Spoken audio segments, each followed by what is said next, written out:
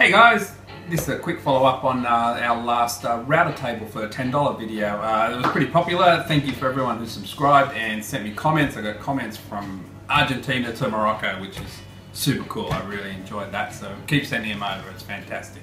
Um, the most common question I got was how did I make the router bit go up and down? And I, I should have gone into more detail at the time, but I thought I'd do a quick uh, review on my routers and some of the features they have and why I've gone for these and um, you know it might help you with your choice for, for routers. So uh, I've got two Triton routers. Um, Triton routers they're not the cheapest router but they're also not the most expensive so um, you know they're somewhere around in the middle there I guess. Um, I've found them very reliable. I'm super happy with both of these. So um, now the first part was how I made the router bit go up and down. So on both of these routers, um, it's located in different spots, but they both have a little winder here. And they come with a little handle, which just goes straight in and you can wind it. So, you know, if you, you can just mount these to a piece of wood, drill a hole and it's a it's a table, it's a router table, so it's super easy. It doesn't get any easier than that. You don't have to go to the expense of buying uh, you know one of those expensive router lifts. A couple other features that I quite like about these routers. Uh, this one here, this is the TRA001 Triton router, which is their big one, which is three and a half horsepower. Um, if you saw my laptop video, which you know, I've put a link around here somewhere, you can go and check that. Um, you know, with a big router bit like this, it just ate through it like nothing. Tons of power, very reliable. Um, it just lives in my router table non-stop. Uh, a couple of little features. It has, uh, both of these routers have a micro adjuster, so you can just infinitely adjust up and down to, you know, get your exact depth of cut right. Uh, it's also got a little winder handle here, so I just pull this little ring in and I can wind it up and down as well, which makes it quite nice.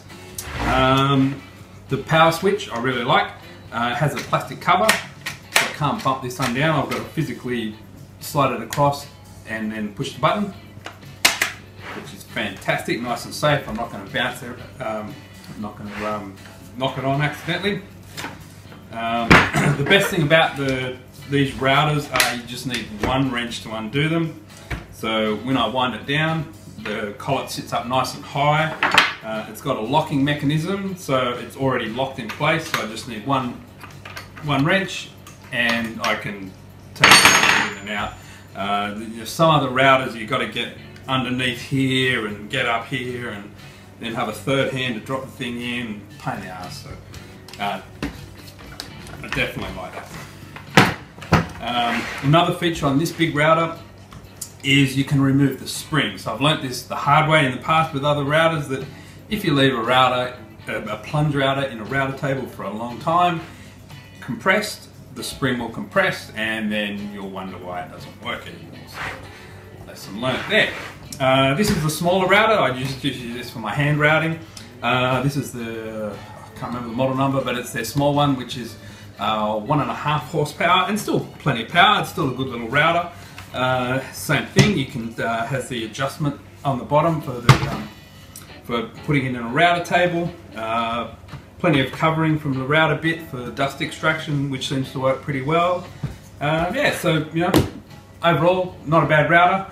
Um, and if you haven't seen the router table video yet, for uh, just click here and you can watch that, and then uh, you know come and review these again. Feel free to send me any questions you have. I'm happy to answer them. At OneWood we also sell these, which is uh, called a Musclechuck. Uh, these were made in the US, so uh, you know, a lot of you it's nice and local.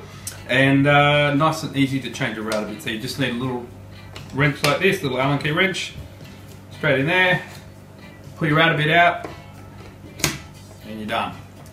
so again, you know, if you've got one of those fiddly routers where you've got to get spanners underneath and must mess around with it, the Musclechuck might be a good little option for you thank you everybody who's subscribed recently. Um, I really enjoyed and I really enjoy your comments, so uh, keep them coming. Thank you.